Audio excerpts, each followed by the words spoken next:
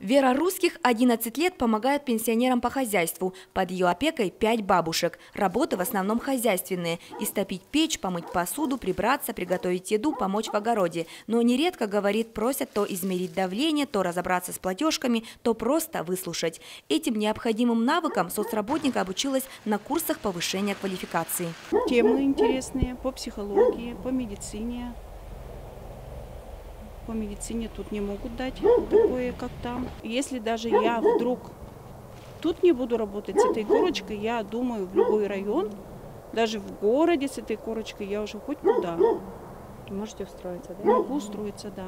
Обучение Вера смогла пройти бесплатно, как сотрудник предпенсионного возраста. Специально для таких работников с этого года организуют курсы повышения квалификации или освоения новой профессии. Это часть национального проекта «Демография», который реализуется по инициативе президента страны Владимира Путина. Только в одном Дебесском районе в этом году уже больше десятка предпенсионеров прошли такое обучение. Четверо из них – соцработники.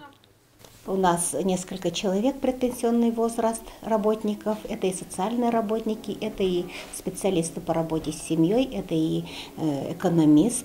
Их у нас 8 человек, 4 уже обучили социальных работников.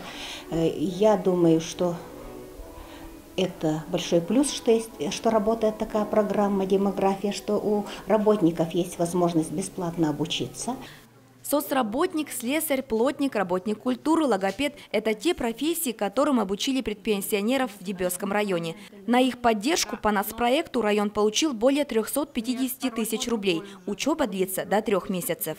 Те работающие, которые у нас обучаются, они получают, э, за ними сохраняется среднемесячный заработок, а те граждане, предпенсионеры, которые у нас регистрируются в качестве безработного и обучаются уже через нас, э, получают стипендию, за ними сохраняется стипендия в размере 12 972.